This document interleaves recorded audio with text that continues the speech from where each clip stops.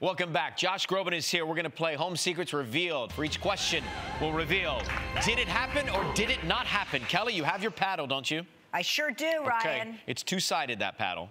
It sure uh, is. So, for all of us, and Josh included, did you stay in your PJs all day long? You did. Oh, you did well, this, I gotta say, half, half PJs. Half PJs. Half PJs. So PJs from the waist down. We, yes. Yes, but you, that, you're giving me a thumbs down. From the from the waist down. Yes. Okay. Why is his yellow? It's like he's not. He's undecided. I think it's our. I think it's our, our monitor. he's Did undecided. you sleep past noon? Yay! Uh, I don't think any of us. No, we got up at yeah, we early, got early.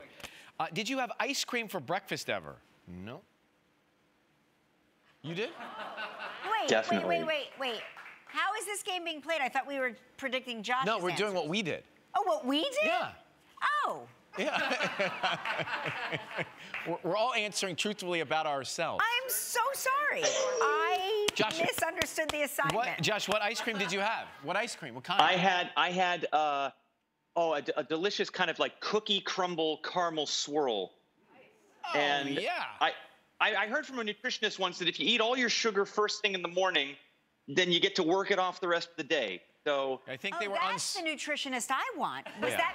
That's. Uh, I think they were uncertified. Okay.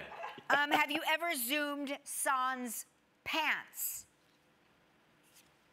I mean. Yeah, I mean, Ryan. We're talking now or other times. Ryan. I've, no, I've, not, I've always had something on. You had pants on? Well, I've had shorts on. You know, fine.